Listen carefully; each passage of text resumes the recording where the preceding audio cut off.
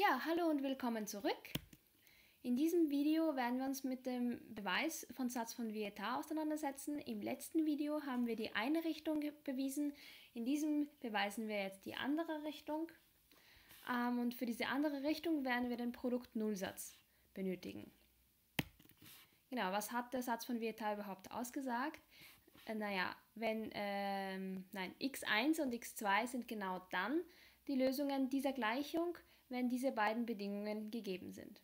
Wir haben gesagt, dass das eben genau dann, wenn Aussagen sind. Das heißt, äh, wir müssen das Ganze auch in, in beiden Richtungen beweisen.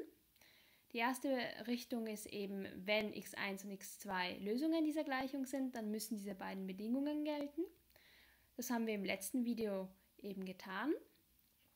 Ähm, und in diesem Video beweisen wir dann, wenn diese beiden Bedingungen gegeben sind, dann sind x1 und x2 tatsächlich auch Lösungen dieser Gleichung. Eines vorweg, wenn wir diese Gleichung haben und das jetzt auf beiden Seiten mit minus 1 multiplizieren, was kommt dann raus? Genau, ähm, wir haben hier minus p mal minus 1, das ist plus p, und auf der anderen Seite haben wir minus 1 mal plus x1, das ist minus x1, minus 1 mal plus x2, das ist auch minus x2. Also haben wir minus x1 minus x2 ist gleich p. Diese Form wird uns wahrscheinlich mehr, ähm, also wird für uns wahrscheinlich angenehmer sein im nächsten Schritt. Ja, was machen wir im nächsten Schritt? Wir wollen diese Gleichung ein bisschen in eine andere Form bringen. Ähm, dazu schreiben wir einfach diese linke Hälfte, also die linke Seite dieser Gleichung auf und setzen für P und Q genau das und das ein. Wir haben also ähm, diese Darstellung und wenn du jetzt nur die rechte Seite dir genau anschaust, vielleicht erinnerst du dich vage daran, dass das eigentlich ein Ergebnis, also das Produkt einer Multiplikation ist. Vielleicht erinnerst du dich auch noch, welche Multiplikation das genau war. Und wenn du dich daran erinnerst, dann hast du eigentlich schon gewonnen, um zu argumentieren, warum x1 und x2 Lösungen dieser Gleichung sind. Ja, die Auflösung nun. Das ist genau dasselbe wie das hier.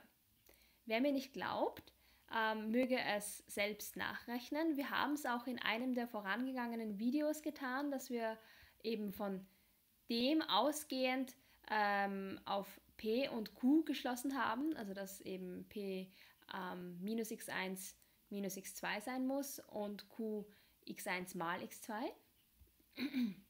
Und wenn wir jetzt diese Darstellung hier so stehen haben für die linke Seite und jetzt noch die rechte Seite hinzufügen, dann haben wir eben schon gewonnen.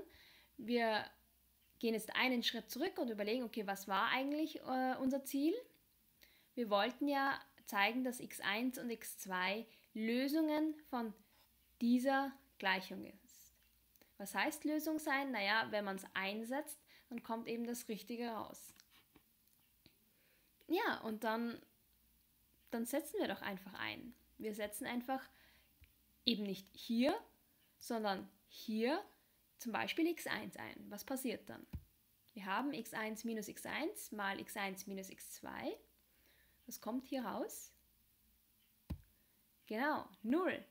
Warum? Der Produkt-Null-Satz besagt ja, dass ein Produkt genau dann 0 ist, wenn mindestens eines der Faktoren 0 ist. x1 minus x1 ist 0.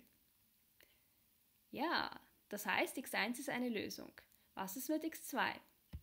Wenn wir x2 einsetzen, haben wir x2 minus x1, das interessiert uns nicht, das ist irgendeine Zahl, mal x2 minus x2, das ist 0. Genau, und damit ist das Produkt auch 0.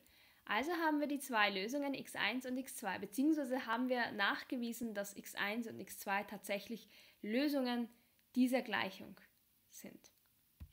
Und das war ja genau das, was wir zeigen wollten. Ja, wir sind schon am Ende dieses Videos angelangt. Hoffentlich bis gleich im nächsten Video.